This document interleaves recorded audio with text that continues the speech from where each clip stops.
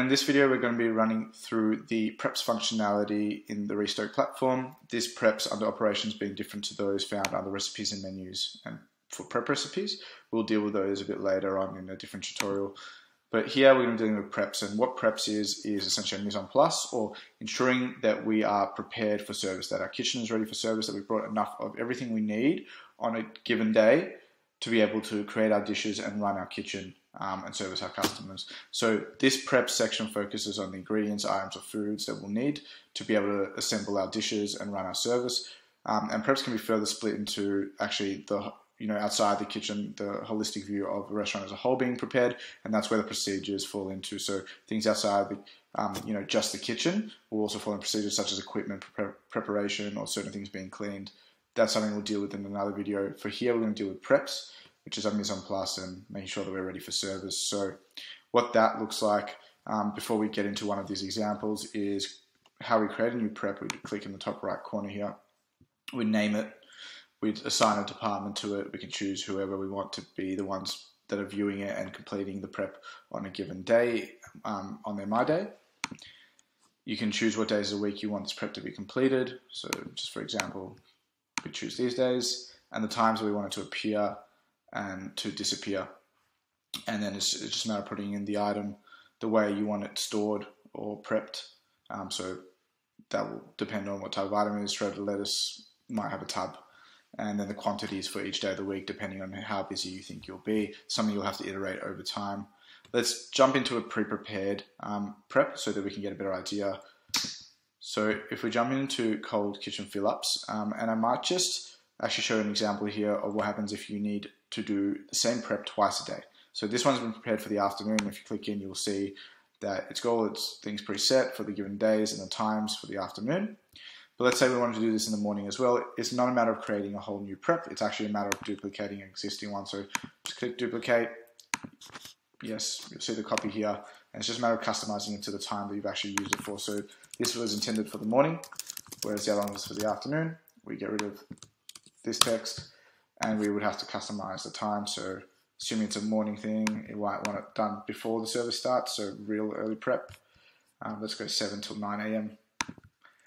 And essentially that's all you, you need to do there. You've just duplicated the prep and it's now for two times in the day with the particular times that needs to pop up for your particular staff.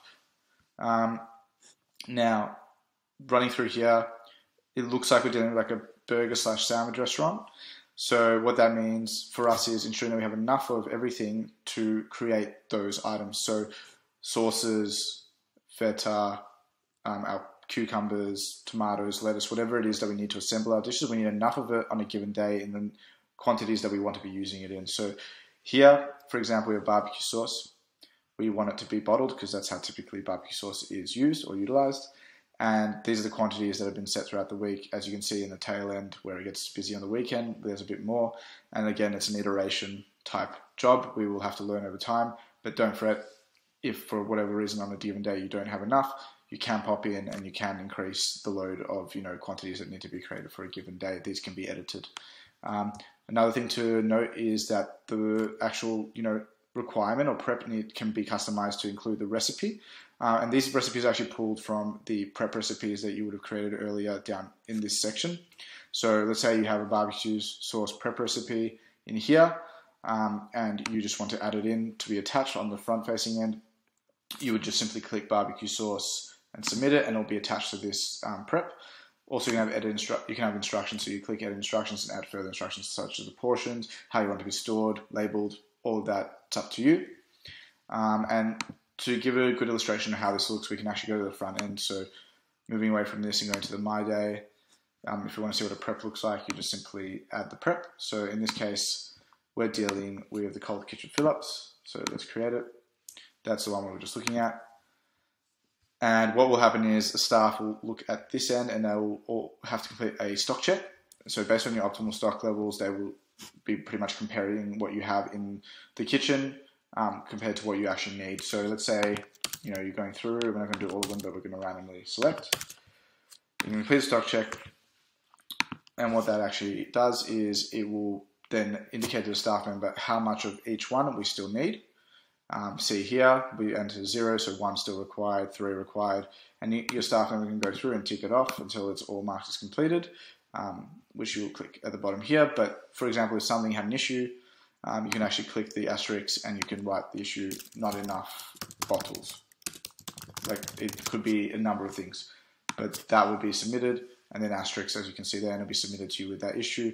And the last thing to note is the instructions on the recipes we were discussing before. So let's say we click on mustard. Um, mustard items, this is what is required to create the mustard sauce, um, the quantities, and then you can have further instructions on actually like, you know, how to mix it around, how to store it, how you want to label the bottles, all that can be customized. So that's just the front facing end.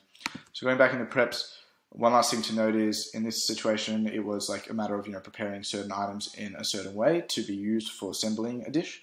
Um, in this case, it could also be a matter of actually having you know our patties ready for service. So we need to defrost patties on a daily basis to have enough for the following day, and that could also be a prep recipe in itself. Uh, sorry, not a prep recipe, a prep for um, the following day. That's essentially it to get you started.